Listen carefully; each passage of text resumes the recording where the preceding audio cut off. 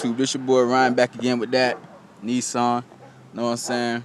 I just got my Raptor terminals in today. So I went ahead and switched them out. And I put, you know what I'm saying, some little shock absorbers up under the amp. So the amp could breathe a little better. Have instead of sitting directly on the wood. You know, got a little space up under there now. You know, my Raptor terminals. I like the way it look, much cleaner to me than the old terminals. But nothing new other than that. Waiting for these ST Selenium to come in. And oh yeah, we got a new car in the family. New car. CTS Coupe.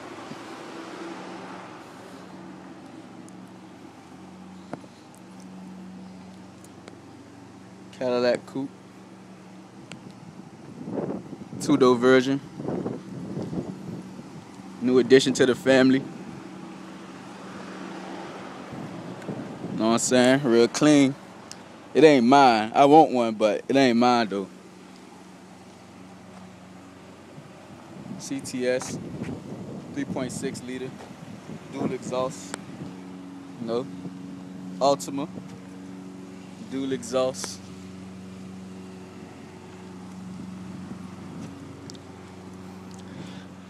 But yeah, though.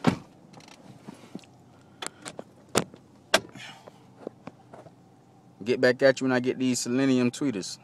I'm out.